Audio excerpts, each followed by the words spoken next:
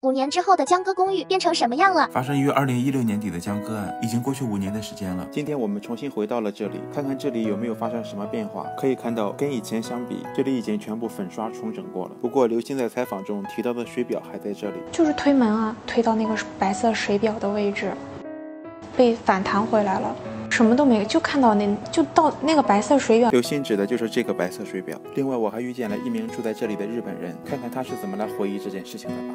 亡くなった学生さんが友達の女の子を守ろうとして友達のボーイフレンドを家に入らさないようにして怒った男に 警察が黄色いテープを貼っていて捜査をしていました。知らないんですけど多分でも日本の事件なので日本で処分を受けていると思います。知らないんですけど帰国したんじゃないですか時々にそこを通るとき心の中でお祈りをします。